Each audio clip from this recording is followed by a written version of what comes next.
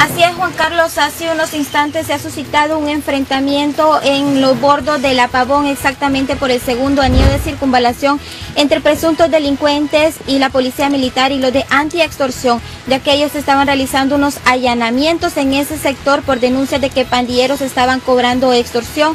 Al momento de que ellos ingresaron a este sector, Juan Carlos, eh, los pandilleros salieron por los techos y comenzaron a disparar. Ahí fue que se suscitó este enfrentamiento que ha dejado hasta los momentos un pandillero muerto encima de un techo. Eh, quedó con un AK-47 y también hasta los momentos hay más de 10 detenidos. Todo el sector en estos momentos está rodeado por miembros de la policía militar y anti-extorsión que están tratando de calmar la situación en este sector de la Pavón, los bordos de la Pavón cerca del segundo anillo de circunvalación.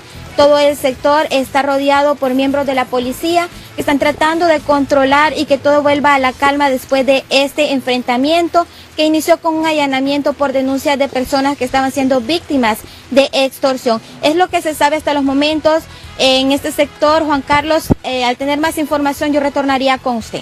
Consultita, Mailing, una consulta. Eh, este enfrentamiento o este operativo que dio como resultado un enfrentamiento y desde luego estas imágenes que eh, estamos presentando en estos instantes, ¿a qué horas inició?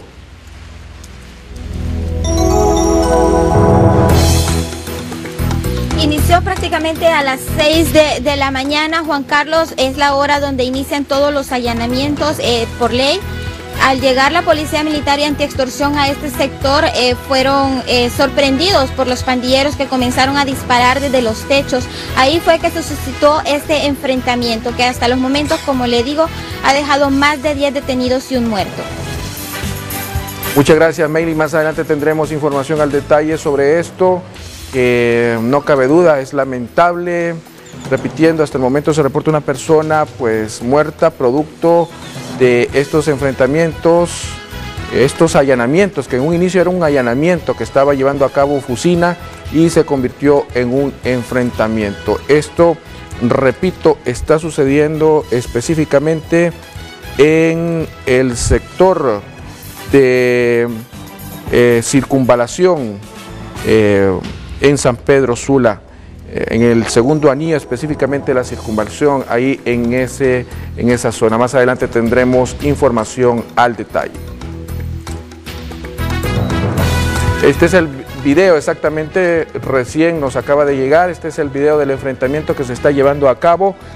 Eh, hasta el momento, pues, una persona fallecida, repito, esto es en el segundo anillo de la circunvalación en San Pedro Sula, donde hasta el momento una persona ha sido pues eh, eh, asesinada producto de, repito, de este enfrentamiento que en un inicio, en un inicio eh, era una, unos allanamientos. según los informes o reportes que, nos, que recién nos acaba de proporcionar la periodista Beilin Paola Coto, pues este enfrentamiento en un inicio pues era eso, era un allanamiento. Y eh, eh, los, los, oh, los, pandilleros se resistieron a ser eh, capturados y esto dio lugar específicamente en los bordos de la Pavón, cerca del segundo anillo, nos dice la periodista Beilin Paola Coto. Repito, más adelante tendremos más información.